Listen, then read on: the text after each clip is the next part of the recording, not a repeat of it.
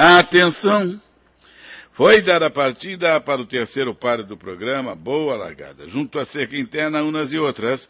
Tem ligeira vantagem, vai ser atacada lá por fora pela Tina Riana. Tina Riana foi para a ponta, livrou um corpo inteiro de vantagem, ganhando terreno Arara Rosa. Vai tentando a segunda colocação, vai passando para segundo. A cabeça em terceiro corrigiu Levinha. Entram pela variante e Arara Rosa força por fora. Vem agora tentar a primeira colocação sobre Tina Riana. Estão brigando. Por dentro, Tina Riana mantém uma cabeça de vantagem. Arara Rosa corre em segundo, em terceiro Gil Levinha, assim vão se aproximando da reta final, contornam a curva de chegada e entram pela reta final, brigando pela primeira colocação, Arara Rosa por fora, tem ligeira vantagem, voltou lá por dentro Tina Riana, e as duas brigam cabeça com cabeça, em terceiro nas e outras, em quarto cá por fora Gil Levinha, vão cruzando a seta de 200 metros finais, e Tina Riana mantém ainda a cabeça e pescoço vantagem para Arara Rosa, correndo em segundo, vão cruzando a seta dos 150 metros as rosa, a Arara Rosa tomou a ponta e livrou um corpo, um de luz de vantagem, umas e outras, avança por fora,